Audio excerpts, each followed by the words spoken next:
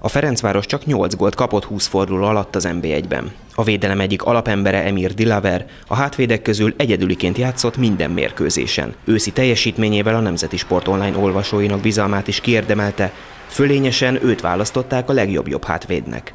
Our season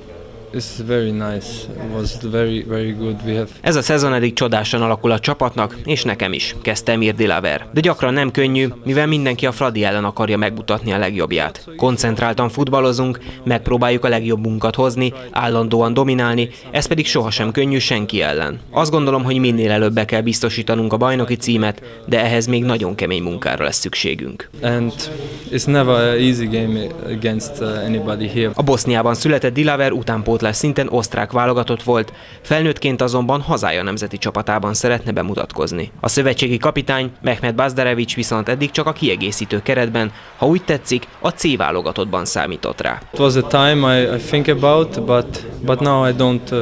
Most nem gondolok arra, hogy válogatott legyek. Persze volt idő, amikor igen, de most az első számú cél, hogy a Fradival mindent megnyerjek. Most itt kell jól végeznem a munkámat, nincs más álmom, mondta Dilaver. Akkor akkor viszont most játszunk el a gondolattal. Mit mondanál akkor, ha Bernd Storr küldene neked meghívót? Uh, Erről nehéz beszélnem, és nem is szeretném, hogy ezzel legyen tele a fejem. Nagyon szeretem a magyar válogatottat, mert kétszer is nagyon jól futballoztak Norvégia ellen, ekkor pedig nagyon büszke voltam. Büszke voltam, hogy Magyarországon játszhatok, és láttam a nemzeti csapatot kijutni az Európa-bajnokságra.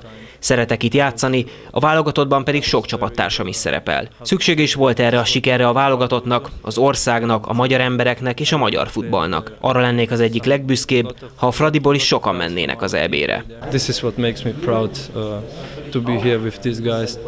They go to the championship. Bár Emir Dilaver nem szerepel Benstok szövetségi kapitány hételején kihirdetett keretében, a Ferencváros így is hat játékost ad a válogatottba, amely hétfőn telkiben kezdi meg az edzőtáborozást.